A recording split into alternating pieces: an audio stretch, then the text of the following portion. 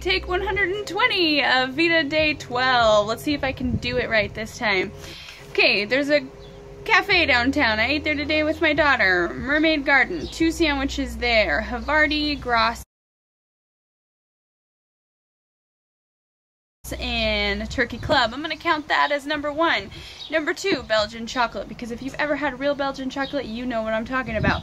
Number two, three is lasagna, because lasagna is good, and burritos, because I like burritos, and avocados, because avocados are awesome. So, things I will never eat, escargot, ants, liver, which I have tried, and it is disgusting. Mole sauce, chocolate in sauce, other than dessert, no thank you.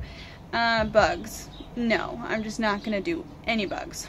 And then the list of things that I want to try is so enormous that I will not try and fit it into a small video like this. Just know that there are many things, and if you really care to find out some of them, you can look on Pinterest. I love your faces, and I will see you tomorrow.